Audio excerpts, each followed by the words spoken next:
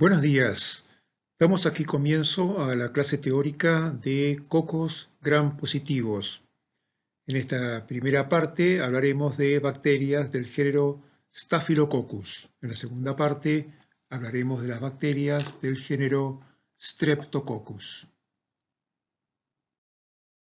Los estafilococos comparten con los Streptococcus la característica de que ambos tienen morfología esferoidal, es decir, son cocos, y en ambos casos se tiñen con la tinción de Gram como Gram positivos.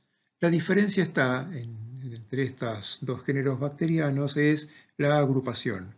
Fíjense la agrupación que presentan los Staphylococcus en forma de racimos, mientras que los Streptococcus se agrupan formando largas cadenas. Una forma rápida de diferenciar a los Streptococcus de los Staphylococcus en el laboratorio es mediante la prueba de la catalasa. Es decir, lo que se hace básicamente es se coloca una gota de agua oxigenada y se colocan microorganismos que provienen de un cultivo fresco eh, que se eh, suspenden en esta gota de agua oxigenada. La presencia de catalasa hace que se dismute el agua oxigenada y de ahí viene eh, la positividad de esta prueba. Los Streptococcus dan prueba negativa a la catalasa. El objetivo de esta clase y de esta primera parte de la clase es describir cuáles son las principales características de aquellas especies de Staphylococcus que tienen mayor importancia médica. Vamos a tomar como paradigma a una o dos especies para poder explicar este tópico. Eh, básicamente vamos a tratar de responder a la pregunta ¿por qué los estafilococcus causan infección al hombre? Para eso tenemos que analizar con qué mecanismos cuenta esta bacteria para causar enfermedad. Y daremos una somera idea de información acerca de las distintas patologías que causa Staphylococcus aureus para que ustedes puedan identificar entonces la importancia médica de este género bacteriano. La familia Staphylococcus está compuesta por diversos géneros. El género de mayor importancia médica es Staphylococcus, del cual se conocen más de 60 especies. Una prueba común y sencilla que se realiza en el laboratorio de bacteriología frente a un aislamiento posible de Staphylococcus es la prueba de la coagulasa. ¿Por qué es importante hacer esta prueba? Porque existen especies coagulasa positivas y especies coagulasa negativas. Y las coagulasa positivas en general son más virulentas que las de las coagulasa negativas. Dentro de los coagulasa positivos distinguimos hasta Staphylococcus aureus, que es la especie que vamos a tomar como paradigma para la clase de hoy. Las bacterias del género Staphylococcus no tienen una historia a veces tan amena e interesante como las que presentan las micobacterias o los treponemas. Eh, las bacterias del género Staphylococcus fueron eh, por primera vez reconocidas por Sir Alexander Hoxton en 1880, que realizó un estudio de más de 80 muestras de pus derivadas de pacientes eh, con forúnculos o abscesos y pudo eh, aislar de 65 de ellas microorganismos con forma de cocos. Es lo que se dio cuenta ahí que había cocos agrupados en racimos, en forma de racimos, que causaban enfermedad no tan grave como la que causaban otras eh, bacterias con forma esferoidal y que estaban agrupados en forma de cadenas.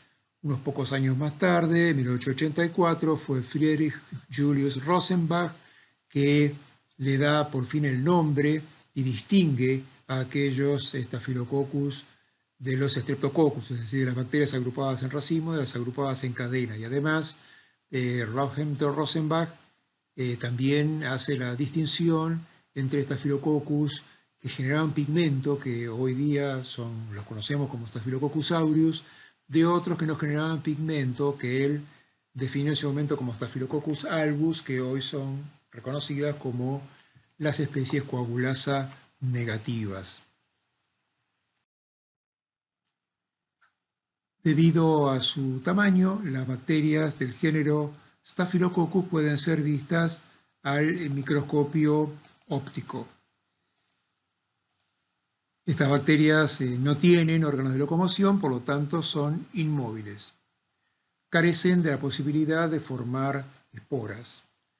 Algo que distingue a los estafilococcus de otros microorganismos, otras bacterias, es que tienen una muy gruesa pared bacteriana, como ustedes pueden apreciar aquí en esta fotomicrografía electrónica. Esta fue tomada por microscopía electrónica de transmisión. Esta gruesa pared bacteriana tiene básicamente varios componentes, pero los dos principales son el peptidoglicano, que es un polímero de N-acetilglucosamina y ácido N-acetilmurámico, y los ácidos teicoicos. Tanto el peptidoglicano, o sea, el peptidoglicano está unido covalentemente una molécula con otra, formando largas cadenas que a su vez están eh, eh, unidas entre sí de manera tal de formar una gran malla, una suerte de supermolécula que rodea a toda la bacteria. Eh, interlazada junto con el peptidoglicano se encuentran las moléculas de ácidos teicoicos. Un tercer componente son las proteínas, hay diversos tipos de proteínas, la que es más abundante es la proteína A. Esta gruesa pared, como todas las paredes bacterianas, determina la morfología de la bacteria, es decir, por el, grado de entrelazamiento, el tipo de entrelazamiento, la bacteria eh, tiene forma cocoide. Eh, esta gruesa pared protege a la bacteria del shock osmótico, es decir, la presión osmótica es muy alta en el interior, si no tuviera esta pared, la bacteria literalmente estallaría. Y además, este tipo de esta pared le provee una alta eh, resistencia a la bacteria de la desecación y otros agentes ambientales. A partir de ahora vamos a centrarnos en el estudio de Staphylococcus de la especie Aureus. Si uno se pregunta dónde puede uno encontrar a los Staphylococcus aureus, va a ver que están distribuidos en prácticamente todo el mundo. La distribución es mundial, es una bacteria ubicua. ¿Por qué? Porque forma parte de la eh, microbiota normal de todos los mamíferos, incluyendo al hombre. Algo que se observa es que la especie aureus posee diversos clones. Estos clones pueden ser eh, identificados mediante una técnica de secuenciación de locus múltiples que utiliza siete genes constitutivos o genes housekeeping para definir distintos secuenciotipos. ¿Por qué es importante esto? Porque lo que se puede ver es que hay clones que tienen una distribución geográfica particular, que abarcan zonas o abarcan continentes, están en un sitio y no están en el otro. Y también es importante porque algunos de estos clones tienen una cierta especificidad de especie, es decir, existen clones de Staphylococcus aureus, por ejemplo, que afectan, por ejemplo, a bovinos con mucha importancia, mientras que no afectan tanto al hombre. Y a veces eh, es de alerta ver que una especie que está infectando a los animales puede pasar al hombre y constituir una emergencia eh, epidemiológica. Digamos que Staphylococcus aureus es un miembro transitorio de la microbiota normal. Dentro de nuestra microbiota podemos encontrar los Staphylococcus en el aparato respiratorio superior, en las fosas nasales, eh, en la región perineal, en las axinas, pliegues cutáneos y vagina, en, un número importante, 40-50%, de adultos eh, sin ninguna otra condición de base. Existen eh, algunos individuos, de entre un 10 y un 20%, que están permanentemente colonizados, mientras que el resto de la población está colonizada de manera intermitente, un poco a veces sí, a veces no. Esta, Staphylococcus aureus es una bacteria, es una especie que tiene una alta importancia médica y que puede causar infecciones, tanto a individuos de la comunidad general como a aquellos individuos que se encuentran hospitalizados. Staphylococcus aureus es una bacteria fácilmente cultivable en el laboratorio de bacteriología clínica. Desarrolla formando colonias perfectamente visibles un día después de la siembra. Eh, una particularidad que tiene Staphylococcus aureus es que puede desarrollar en medio hipersalado, lo que ha permitido desarrollar medios de cultivo selectivos. Estas bacterias, desde el punto de vista metabólico, son anaerobias facultativas, es decir, estas bacterias pueden tanto fermentar un azúcar como oxidarlo. De esta manera, en presencia de oxígeno, estas bacterias básicamente respiran, utilizan la cadena respiratoria y como aceptor de electrones al oxígeno y de esa forma eh, pueden degradar una molécula de glucosa para llevarla a formar eficientemente ATP con producción de agua y dióxido de carbono. En ausencia de oxígeno, estas bacterias fermentan, provocando, produciendo productos de fermentación con un menor rendimiento de formación de ATP, pero que igualmente es suficiente para su desarrollo. Las colonias de Staphylococcus aureus, cuando ustedes las eh, observan, se van cuenta que son pigmentadas, tienen un color amarillento dorado, lo que le da el nombre a la especie. Cuando las cultivan en agar sangre, van a ver que producen un halo de hemólisis total y completa alrededor de la colonia.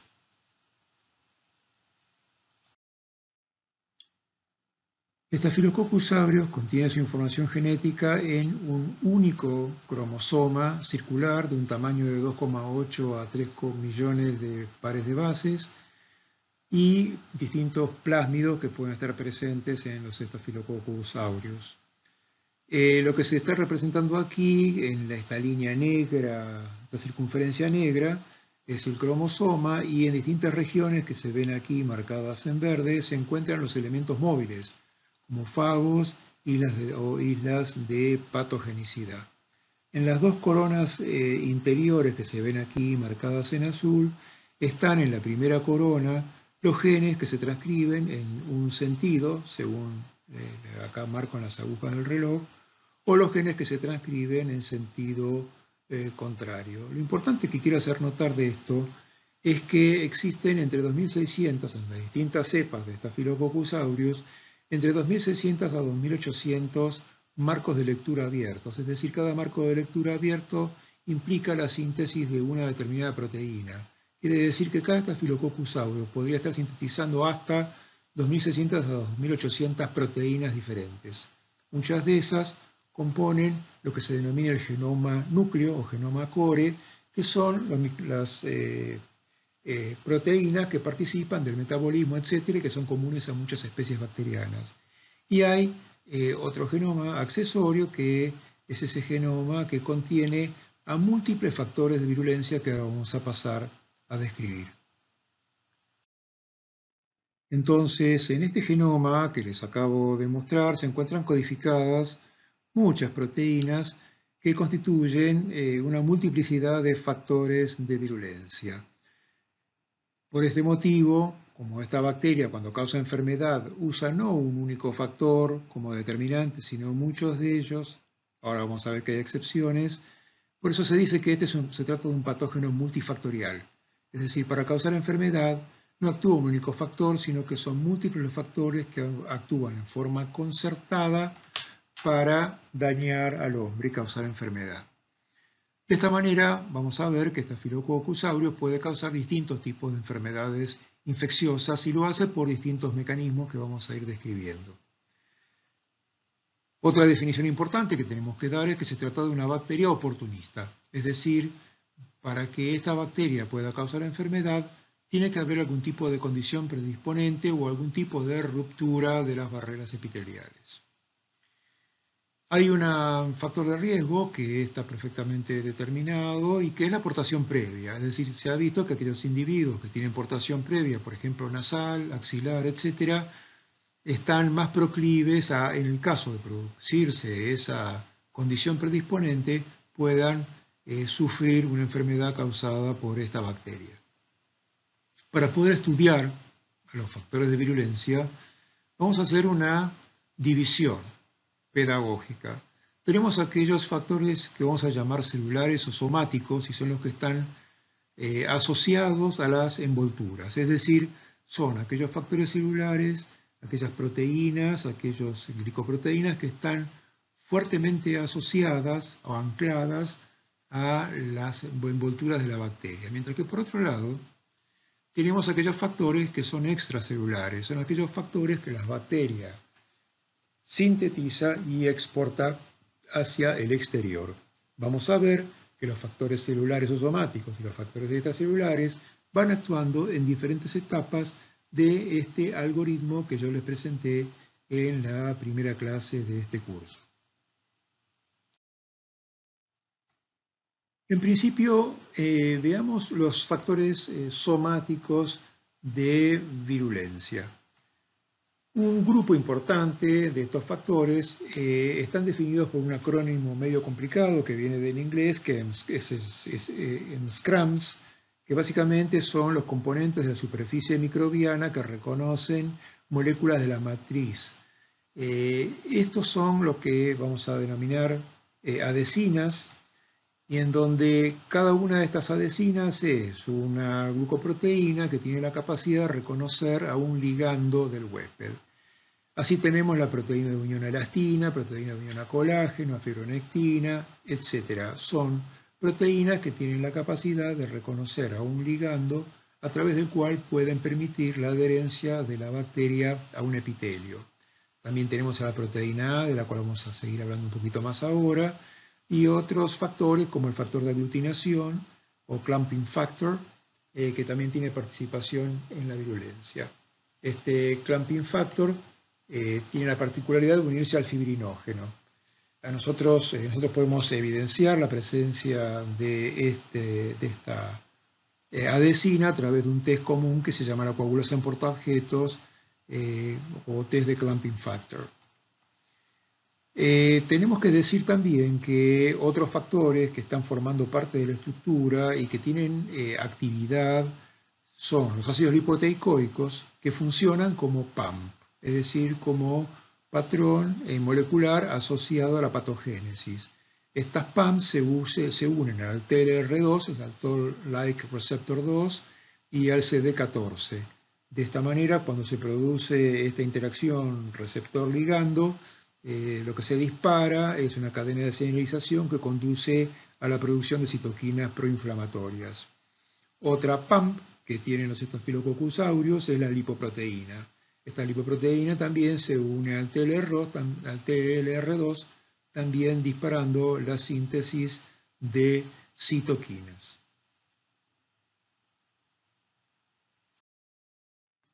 Nos detenemos unos segundos con la proteína A. La proteína A tiene diversas funciones. La primera función por la cual se la describió, se la conoció, es porque tiene la particularidad de que puede unir a la, inmunoglobulina G, a los anticuerpos básicamente, IgG, a través no de una unión antígeno-anticuerpo, sino a través de su FC.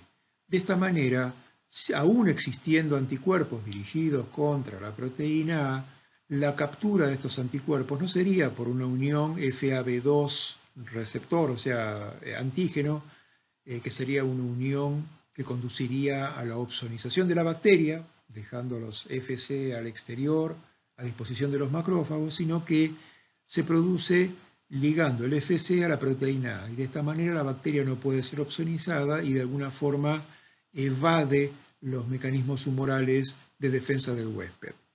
También la proteína A promueve la adherencia entre sí de los distintos estafilococcus.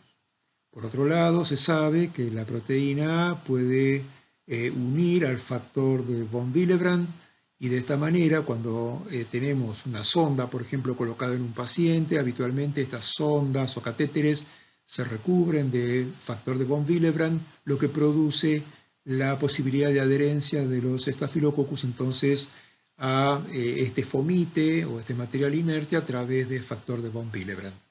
Por otro lado, se sabe que la unión de la IgM, anticuerpos IgM, a través de la región BH3 de esta inmunoglobulina, en su interacción con los linfocitos B, dispara apoptosis de los linfocitos B. También es otro mecanismo de evasión.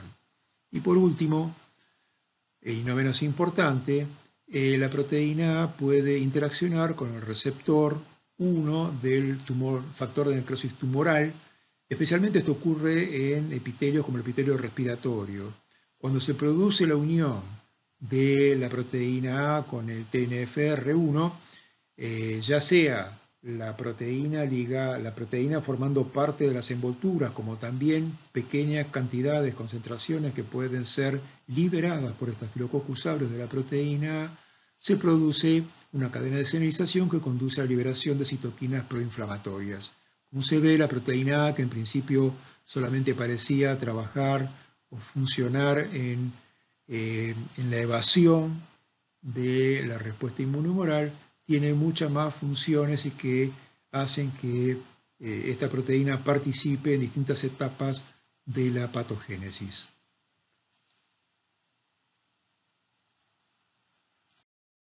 Staphylococcus aureus produce una miríada de factores extracelulares de virulencia. Son muchos y todavía se siguen descubriendo factores a medida que la bacteria sigue siendo investigada.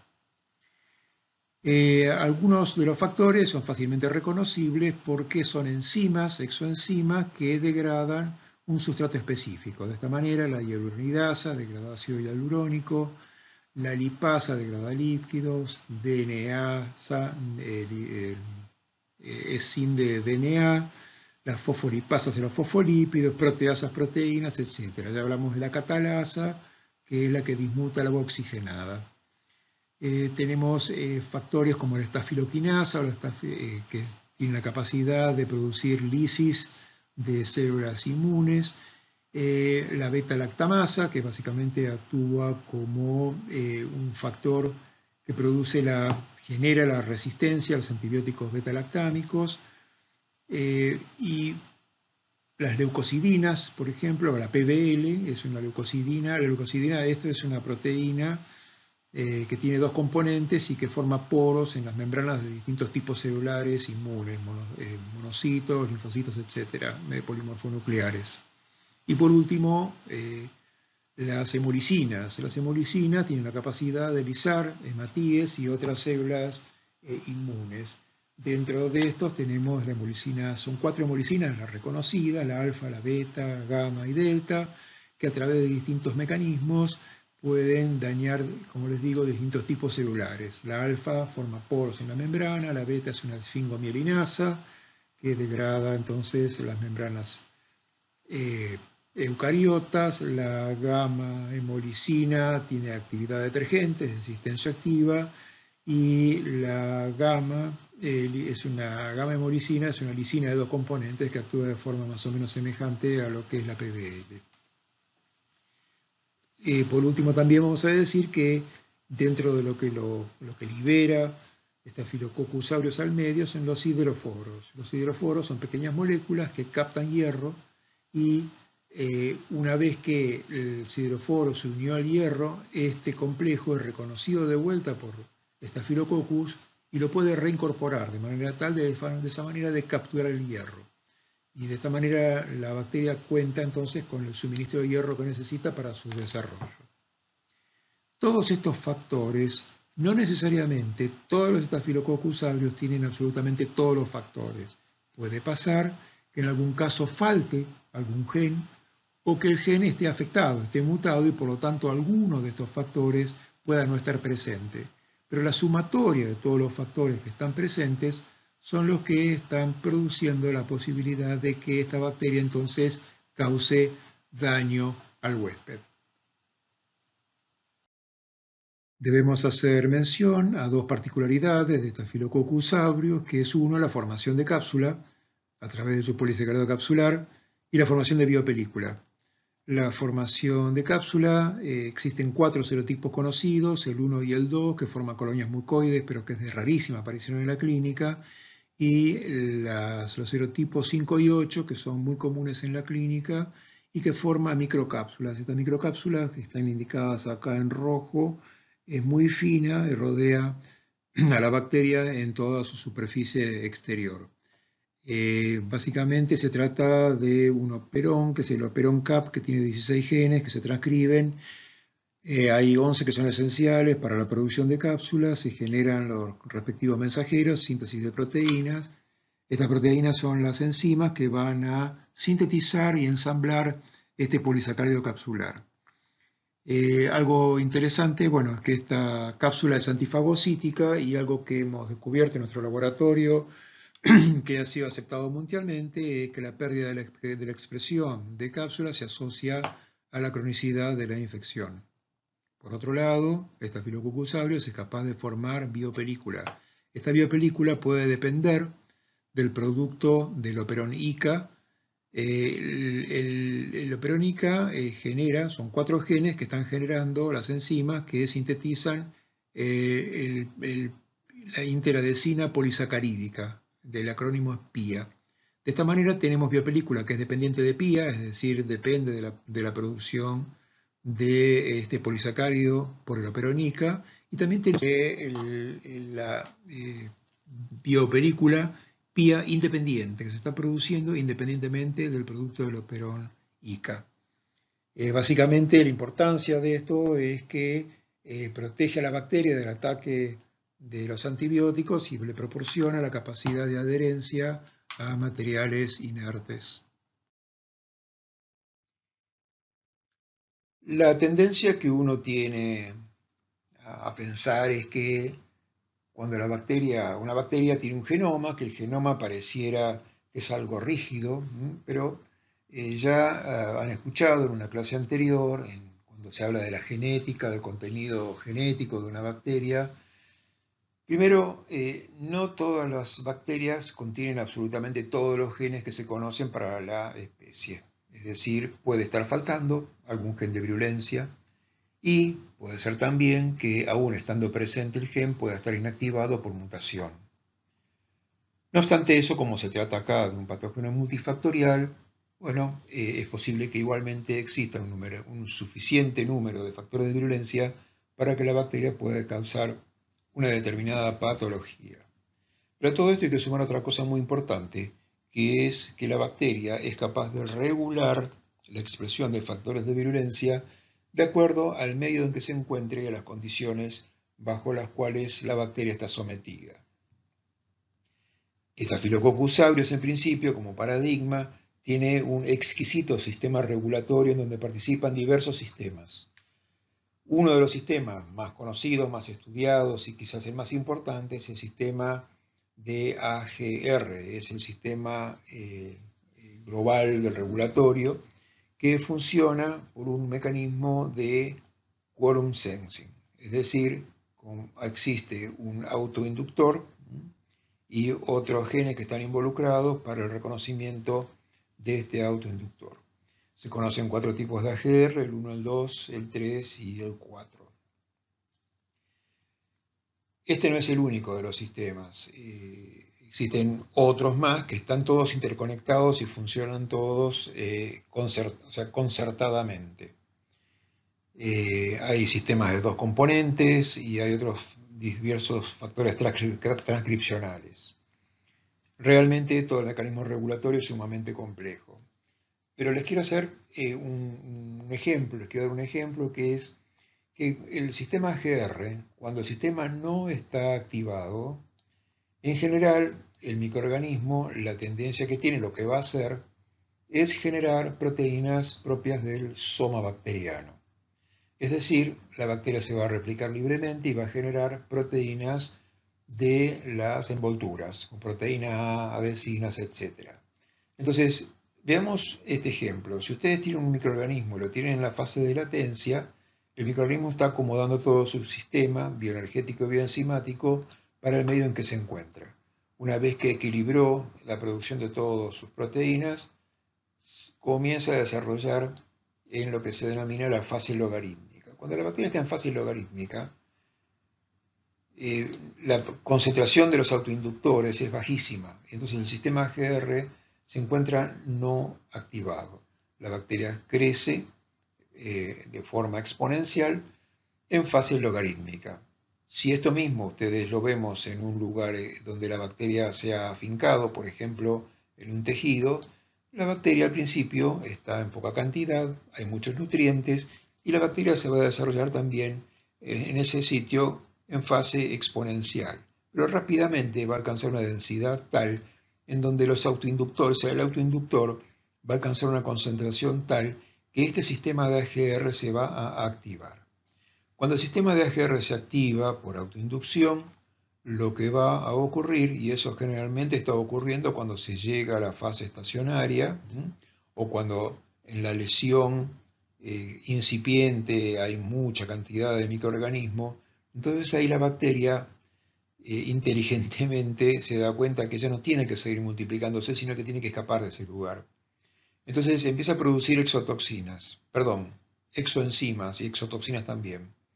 Esos productos lo que van a hacer es digerir tejido, porque claro, va a haber proteasas, eh, eh, va a haber hemolicinas, etcétera, que van a dañar tejido y van a permitir que el microorganismo escape desde este sitio. Vamos a estar ya en una fase tardía, estacionaria tardía. La bacteria está produciendo todo un vasto repertorio de exoproductos y desde, ese sitio la bacteria va a ir destruyendo tejido circundante y va a escapar de ahí. Va a escapar por la circulación, va a ir a otro sitio y va otra vez a comenzar con el mismo fenómeno como había ocurrido al principio. Es, volvemos otra vez al principio. Este es un mecanismo que utiliza eh, mucho el microorganismo para poder adaptarse a los distintos ambientes. Es decir, la bacteria permanentemente, cuando invada al huésped y le va a causar una enfermedad, se va a adaptar al nicho específico, al sitio de infección. Y esto es posible porque la bacteria tiene este exquisito este grupo, este, esta gran cantidad de sistemas regulatorios que le permiten expresar los distintos factores de virulencia cuando a la bacteria le conviene. Para resumir todo lo dicho hasta ahora acerca de la patogénesis de Staphylococcus aureus, Veamos una interacción típica entre esta bacteria y el huésped siguiendo este algoritmo que les he presentado en la primera clase teórica. En principio se tiene que producir el encuentro. Es posible que la bacteria ya esté en el huésped formando parte de la microbiota normal. También la bacteria puede ser adquirida desde el medio ambiente. La bacteria debe ingresar al huésped y para esto se tiene que producir una solución de continuidad en las barreras epiteliales, de manera tal que la bacteria pueda ingresar a través de esa herida que puede ser quirúrgica o traumática. Una vez que la bacteria ingresa, al mismo tiempo va a adherirse y a multiplicarse. Para adherirse, la bacteria va a hacer uso de sus adhesinas y de básicamente proteína A en las primeras etapas. Tardíamente podrá empezar a formar biopelícula. Debe mencionarse que tanto las adhesinas como la proteína A son factores somáticos y que están regulados por el AGR. Al estar el AGR inactivo, porque hay poca cantidad de bacterias, recuerden que el AGR funciona por el sistema de colon sensing, entonces habrá eh, alta producción de adhesinas y proteína A, que es constitutiva, y no habrá producción al principio de factores extracelulares. La bacteria para multiplicarse va a necesitar tomar nutrientes que va a encontrar a su alrededor, glucosa, etcétera, otros solutos en los líquidos biológicos y posteriormente, a medida que el tiempo avance, irá degradando macromoléculas a través de la digestión por proteasas, DNAsa y otras enzimas, fosfolipasas, etcétera. La captación de hierro está asegurada por la presencia de los sideroforos. De esta manera, la bacteria eh, va desarrollando y va adquiriendo un número importante en el sitio de infección. A medida que esto ocurre, eh, el sistema de column sensing reconoce la presencia de muchos microorganismos y se activa. Cuando se activa, va a empezar a producirse la liberación de otros productos, todos los productos extracelulares, regulados por el AGR. En principio, la presencia de esta filoquinasa, que digiere coágulos de fibrinas, y alunidasa, que degrada ácido hialurónico, y las proteasas, que van a destruir tejidos, van a permitir la eventual diseminación del microorganismo, primero eh, por contigüidad y más tarde eh, a distancia. Al mismo tiempo que se está produciendo la activación de la GR, empiezan a aparecer entonces todas las hemolicinas, la leucocidina de Pantan Valentine, proteasas, fosfolipasas y todos los otros factores extracelulares que hemos mencionado anteriormente. Y todo esto lo que lleva es a la generación de daño. Recuerden también que constitutivamente la bacteria tiene ácidos lipoteicoicos que interaccionan con los TLR. Esto dispara señales intracelulares en las eh, células eh, inmunes en la zona de infección que empiezan a producir citoquinas proinflamatorias, pero básicamente producen mucha interleuquina 8. Esta interleuquina 8 es la que produce la migración masiva de leucocitos polimorfonucleares y hacen a esta lesión purulenta. Al mismo tiempo que todo esto está ocurriendo, la bacteria eh, se defiende de los mecanismos de defensa del huésped. Tiene, eh, ya hemos visto, distintos factores que participan de la evasión, la acción oxidativa de los neutrófilos puede ser evadida por la acción de catalasa y en el caso de la respuesta inmune, en caso de que ya aparezcan anticuerpos, va a ser evadida por acción de la proteína A. Algo que eh, debe mencionarse es que eh, la bacteria ya en este momento también, eh, seguramente si es una bacteria cápsula, si es capsulada, va a estar produciendo cápsula, ya puede estar produciendo biopelícula, con lo cual se está también defendiendo con estos factores del ataque de las defensas inmunes del huésped. La bacteria además, a medida que pasa el tiempo, encuentra otros mecanismos también para establecerse ya más firmemente y uno de ellos es el ingreso al medio intracelular. La bacteria esta, esta puede hacerse eh, intracelular y eh, por acción de hemolicina alfa escapa desde los fagosomas al medio intracelular donde permanece. Ahí, eh, dentro del medio intracelular, ese medio es pobre en nutrientes y entonces la bacteria sufre una adaptación metabólica, baja su metabolismo y puede formar lo que se denominan variantes puntiformes, que son formas que le permiten a la bacteria eh, desarrollarse muy lentamente y permanecer mucho tiempo. Y estas variantes, como se replican muy lentamente, también resisten el ataque de algunos antibióticos. En el largo plazo, ya estamos hablando de meses, eh, hay infecciones eh, por Staphylococcus aureus que pueden, la bacteria puede infectar por, hasta por años. Se pueden llegar a producir mutaciones que reducen la virulencia, mutaciones por ejemplo en el sistema GR y que reducen la virulencia de la bacteria. Esto es lo que garantiza es la infección crónica.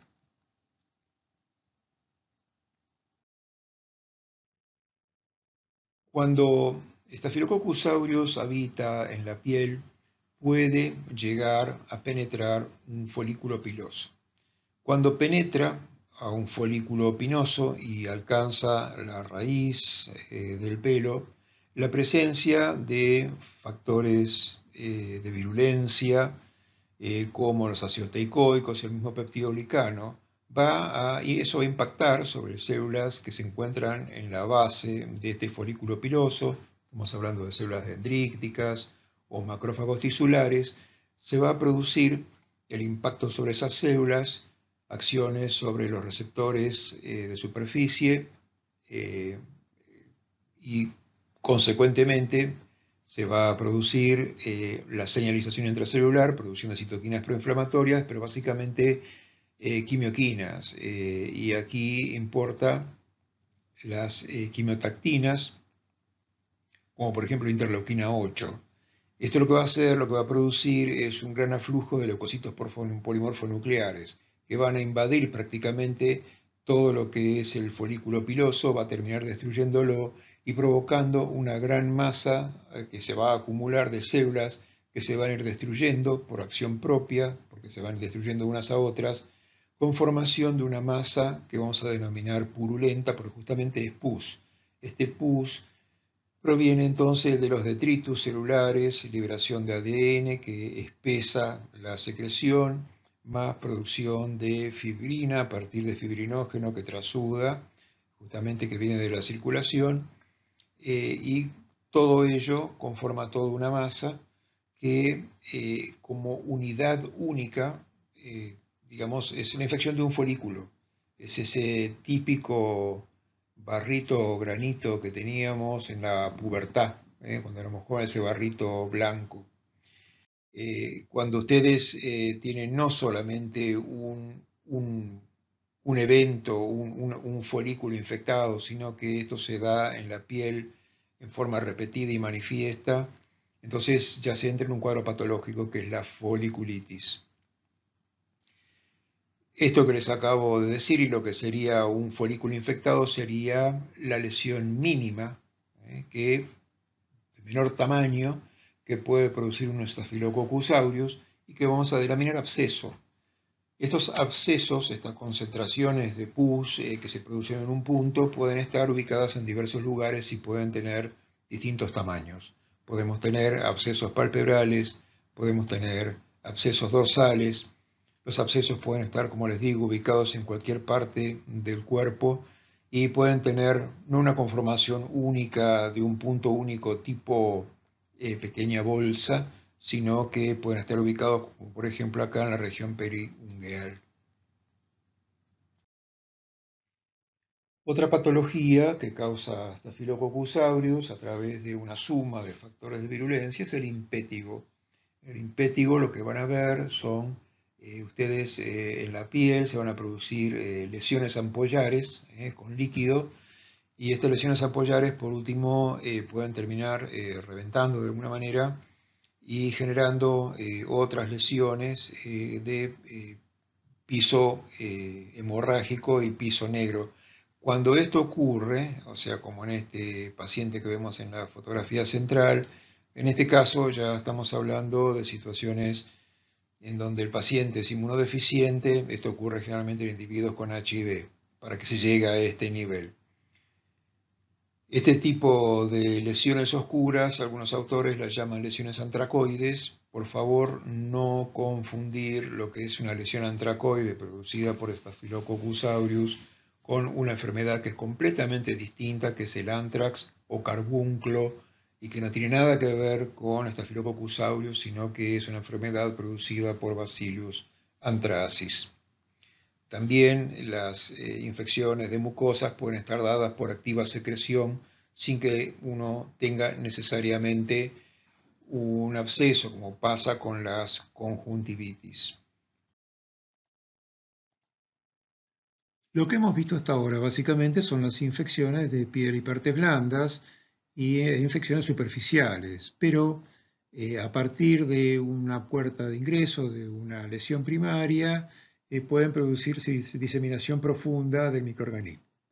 De esta manera tenemos las endocarditis y las septicemias, que generalmente están asociadas a la presencia de catéteres endovenosos. Luego tenemos las neumonías, eh, neumonías por vía descendente. Eh, en el caso de las hospitalarias, generalmente están debidas a la presencia de eh, la intubación, es decir, asistencia respiratoria mecánica, que es una condición predisponente para la neumonía por vía descendente. En general, en la, comunidad general, las neumonías más comunes se dan por aspiración. Esto generalmente ocurre en eh, individuos que están alcoholizados, eh, que generalmente la, la intoxicación etílica conduce a pérdida del reflejo de la deglución y generalmente los individuos muchas veces aspiran secreciones o aspiran vómito y de ahí viene la contaminación de la vía aérea profunda, de ahí vienen estas neumonías por aspiración. También en la edad muy avanzada, cuando falla el reflejo de la deglución, también se pueden producir entonces las neumonías por aspiración de secreción, especialmente salivar. Eh, las artritis sépticas eh, también eh, pueden ocurrir por vía hematógena, hematógena, las osteomielitis y la formación de abscesos en órganos profundos a todo nivel, abscesos renales, etcétera, etcétera. Por otro lado, puede haber infecciones cuando directamente se rompe la barrera cutánea y la bacteria puede entonces ingresar por allí al medio interno. De esta manera, seguido a trauma o a cirugía ortopédica, contamos con las osteomelitis y las artritis sépticas.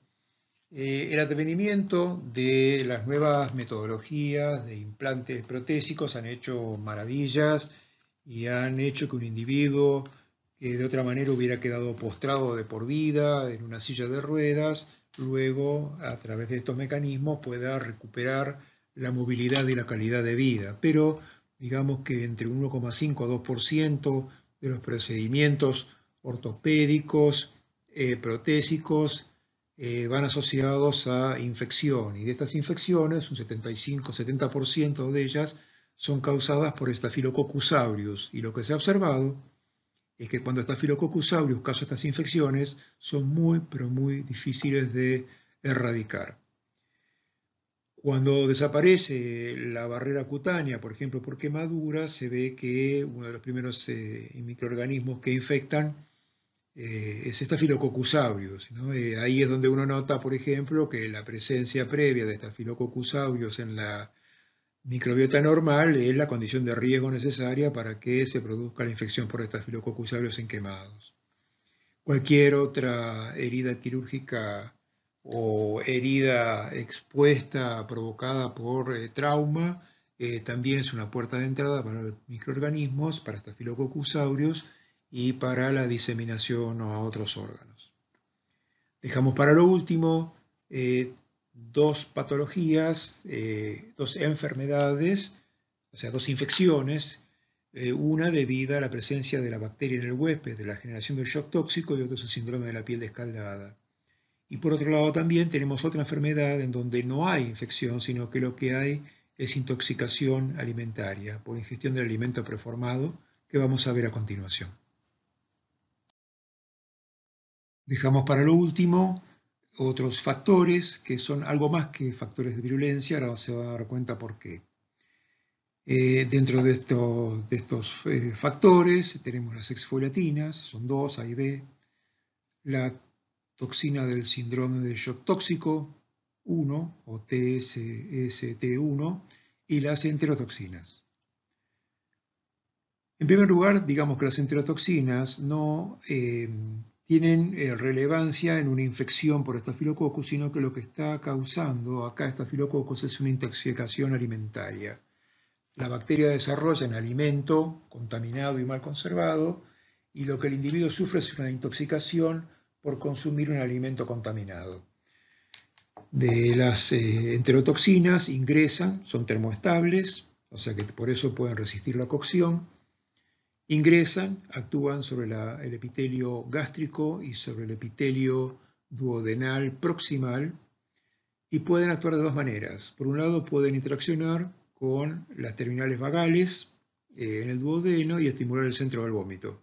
De esta manera, a través de este mecanismo, los individuos sufren eh, vómitos y náuseas que se producen entre 4, 6, 8 horas después de la ingestión del alimento contaminado. Pero por otro lado también, la toxina puede eh, producirse por, transitosis, pasar, eh, a atravesar el epitelio y llegar a estimular eh, receptores en células dendríticas y otros macrófagos tisulares, con lo cual se produce la liberación de citoquinas proinflamatorias y puede haber un proceso inflamatorio localizado. Esto podría llegar a producir, porque no todas lo producen, podría llegar a producir diarrea. Si esta diarrea fuera eh, suficientemente severa, podría llegar a haber deshidratación. También la presencia de estas enterotoxinas en el medio interno tienen otra importancia, que también actúan como superantígenos. Y por actuar como superantígenos es que también pueden tener consecuencias sistémicas. Vamos ahora a hablar de estas otras dos, las exfoliatinas A y B y la TSST1. Las exfoliatinas, que son dos, A y B, eh, son responsables de una enfermedad que se reconoce como la enfermedad de Ritter o síndrome de la piel escaldada. Estas toxinas eh, son producidas por Staphylococcus aureus que ha sido adquirido por este neonato en las primeras horas de vida, probablemente a partir de la mamá. Eh, esta, este Staphylococcus aureus está, está colonizando y produciendo la toxina que es absorbida y es la que eh, digamos, llega a las regiones eh, epiteliales y produce descamación de la piel por la actividad de proteasa eh, que tiene esta toxina. básicamente el sustrato para esta toxina es una proteína que es la de desmogleína 1. La desmogleína 1 es la que forma, contribuye a la formación de los desmosomas, que son estas estructuras que permanecen, que permiten a las células estar epiteliales fuertemente eh, ensambladas una con otra y que permiten la integridad del epitelio. Cuando se produce la cantólisis, es decir, se produce la separación de los desmosomas por acción de esta toxina epidermolítica, se eh, desorganiza el epitelio y se produce la descamación. La forma en que se manifiesta la enfermedad es sumamente parecida a lo que ocurre en la piel cuando eh, se produce una quemadura de primer grado causada por agua hirviente. Si alguna vez han visto este tipo de quemaduras, son muy, pero muy parecidas a lo que muestran estas dos fotografías de estos niños, de este niño con enfermedad de Ritter. Hago la salvedad que en este caso, si la bacteria, si Staphylococcus aureus produce exfoliatinas, se producirá la enfermedad pero el niño puede estar colonizado por Staphylococcus aureus que no produce la enfermedad, en cuyo caso, eh, que no produce la toxina, pero las exfoliatinas, y en ese caso no habrá enfermedad. Quiero recalcar entonces acá que las exfoliatinas se están comportando ya no como un factor de virulencia, sino como un determinante de patogenicidad, es decir, para que pueda haber enfermedad de Ritter, para que pueda haber síndrome de la piel escaldada, tiene que estar presente la exfoliatina. Si no está la exfoliatina A o B, no hay enfermedad de Ritter.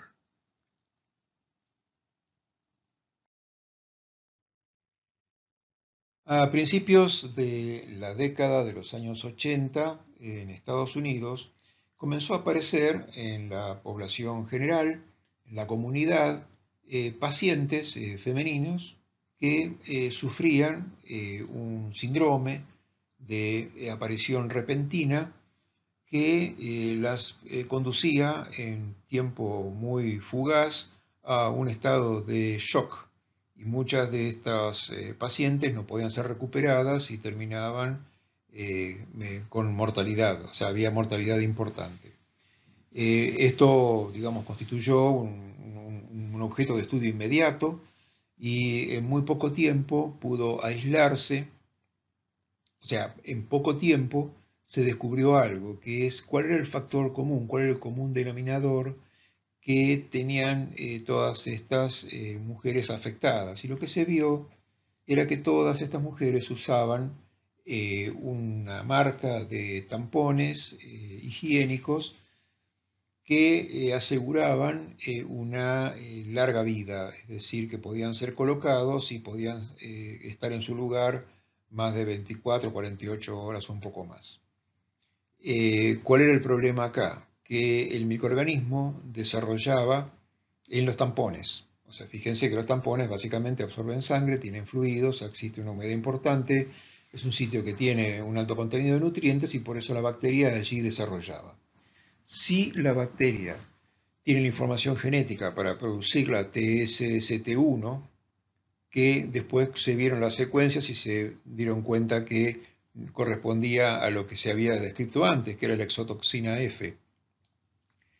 Esta exotoxina F era producida dentro de la matriz de estos tampones y era rápidamente absorbida por los epitelios vaginales y entonces pasaba a la circulación y producía este estado de shock. Una vez que se retiraron estos eh, tampones de circulación, desapareció esta emergencia, pero Debe hacerse la salvedad que el síndrome de shock tóxico no ha desaparecido. ¿Por qué? Porque eh, este shock tóxico puede estar asociado a otras infecciones causadas por Staphylococcus aureus, como por ejemplo infecciones de heridas, por ejemplo, y en general infecciones de piel y partes blandas. El modo de acción de esta toxina ya lo vamos a ver en el seminario correspondiente, pero les aclaro que básicamente que es una actividad, tiene actividad de superantígeno es decir, por actividad superantigénica es capaz de, descargar a la circulación un muy alto, cuando se hay activación eh, indiscriminada de linfocitos con producción de altos niveles de citoquinas proinflamatorias. Este shock tóxico, básicamente así se lo denomina, tiene una característica que es que cursa sin bacteriemia, es decir, la bacteria no está en circulación, la bacteria permanece en el sitio de infección, pero no alcanza el torrente circulatorio. Dicho esto, digamos que entonces que la TSST1 se comporta como determinante de patogenicidad, porque para que pueda existir esta patología necesariamente tiene que eh, existir la presencia de la TSST1. Si un estafilococcus no produce TSST1, nunca puede causar entonces el síndrome del shock tóxico. Entonces, recalco que TSST1 aquí es un determinante de patogenicidad, no un factor de virulencia. La TSST1 es una toxina que actúa como superantígeno. Cuando una célula presentadora de antígeno presenta justamente un antígeno al receptor T, eh, la proporción de células que son capaces de reconocer con mayor o, menor afinidad al antígeno es de aproximadamente una cada eh, millón de células.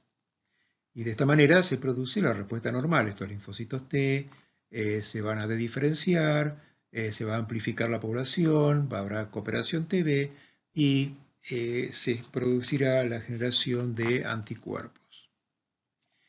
En el caso de que un individuo sufra una infección causada por estafilococcus aureus que producen TSST1, lo que va a ocurrir es que esta TSST1 va a promover la interacción entre las moléculas de clase 2 del complejo mayor de histocompatibilidad y el, eh, el segmento B beta del receptor T. Y de esta manera en vez de activarse uno cada millón de células, se van a activar uno cada cinco células o uno cada diez células, o sea, uno cada diez linfocitos T se va a activar. Y de esta manera va a haber una elevada producción de interleuquina 2 y interferón gamma, etcétera, todas las citoquinas proinflamatorias. Estas citoquinas proinflamatorias son las responsables del síndrome de shock tóxico.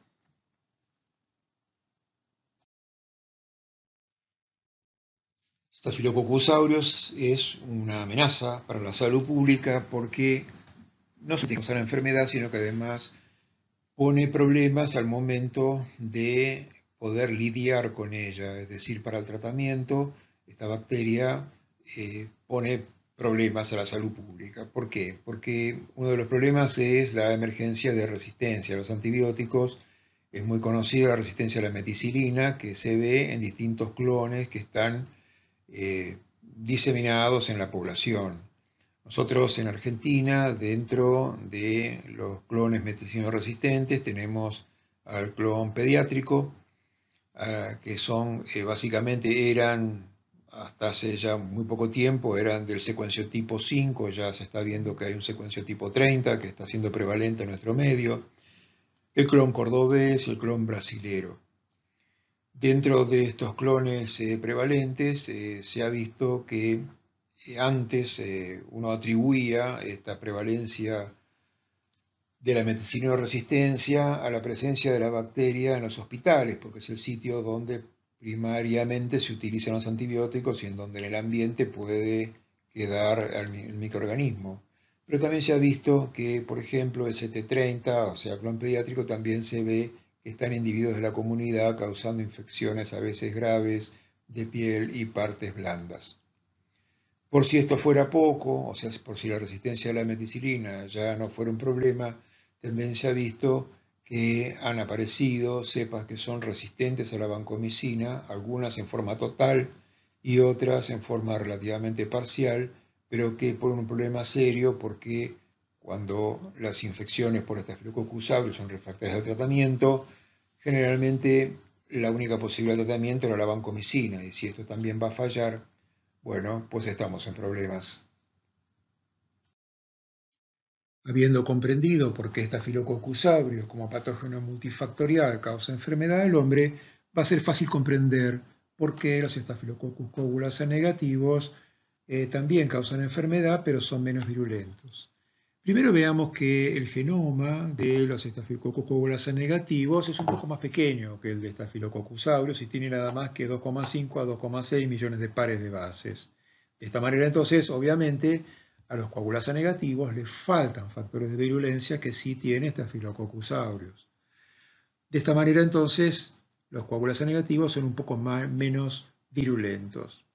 Al igual que aureos, los estafilococcus coagulasa negativos forman parte de la microbiota normal del hombre y también como aureos son oportunistas. Digamos que eh, los estafilococcus coagulasa negativos son patógenos hospitalarios relativamente modernos. Las infecciones por estas bacterias empezaron a describir con mayor frecuencia a partir de la segunda mitad del siglo XX y se asocian básicamente al avance de procedimientos que son muy novedosos, que son muy necesarios, que salvan vidas, pero que se asocian a eh, mayor invasividad en los procedimientos, es decir, presencia de catéteres, prótesis y otro tipo de dispositivos que se colocan permanentemente en los individuos y que provocan la, o sea, suministran una superficie de adherencia a la bacteria desde la cual la bacteria también puede después diseminarse posteriormente por el resto del organismo. Eh, las especies de coagulasa negativos más frecuentes son Staphylococcus epidermidis y Staphylococcus saprophyticus. Los Staphylococcus coagulasa negativos eh, también poseen un repertorio amplio de adhesinas eh, que posibilitan la adherencia tanto a tejidos como a distintas superficies. Eh, se distingue la presencia del operón ICA, que es el que produce también como en Staphylococcus aureus, el la adhesina eh, polisacárida o la interadesina polisacarídica, eh, y esto es mediante el, también el mecanismo regulatorio que también posee Staphylococcus eh, coagulasa negativos, la producción de los componentes que van a generar la formación de biopelícula, que básicamente es lo más importante que tiene como factores de virulencia los Staphylococcus epidermidis. Eh, también eh, existen eh, algunas toxinas, pero el arsenal de factores de virulencia es menor que el de Staphylococcus aureus. La formación de la biopelícula comienza con la adherencia inicial de la bacteria a una superficie. Básicamente las adhesinas con las que cuenta la bacteria puede eh, adherirse a eh, las eh, proteínas que están tapizando de alguna manera ese catéter, esa prótesis que está instalado en el huésped. De esta manera se produce la adherencia primaria irreversible sobre la superficie inanimada. La bacteria va desarrollando y a medida que va desarrollando va formando una colonia va formando esta adhesina, este, este, este polisacárido, este pía, que va a permitir que la bacteria vaya formando una colonia que va creciendo en tamaño. En esta eh, gran colonia que se está formando, lo interesante hacer notar es que las bacterias están dispuestas, dispuestas de manera tal de que están expuestas a distintos microambientes. Las más exteriores van a cumplir una función y las más interiores van a cumplir otra. Y de esta manera, esta biopelícula va de alguna manera a proteger a la bacteria del ataque de antibióticos y va a asegurar la permanencia de la bacteria. Algunas de estas bacterias, cuando esta biopelícula madura, eh, lo que produce es la dispersión de algún microorganismo que puede viajar a distancia y en el caso, por ejemplo, de individuos que tienen prótesis o catéteres, pueden estar causando una bacteriemia permanente que puede ser sintomática o no sintomática. Un ejemplo muy común de la participación de la biopelícula en las infecciones eh, causadas por estafilococcus coagulasa negativos son las infecciones asociadas a la presencia de catéteres, eh, prótesis o cualquier otro elemento invasivo sobre el huésped. Inicialmente las bacterias eh, pueden ser arrastradas en el momento de la introducción, por ejemplo, del catéter, y estas, eh, eh, estas bacterias se fijan inicialmente por fuerzas de Van der Waals a la superficie del catéter, pero posteriormente esta bacteria fuertemente adherida entonces al catéter comienza a producir la interadesina polisacarídica, el, y también puede formar esta biopelícula no solamente por la presencia de pía, sino también por la formación de biopelícula pía independiente. De esta manera se coloniza la punta del catéter y desde aquí la bacteria puede migrar, puede ser desprendida y viajar a la circulación. Que esté eh, colonizada la punta del catéter no significa necesariamente que el individuo esté sufriendo una infección, pero puede haber una bacteriemia que eh, está producida por las bacterias que migran desde este catéter. Eventualmente esta bacteria puede migrar a distancia, radicarse en otro órgano y causar otro tipo de infecciones, como por ejemplo endocarditis.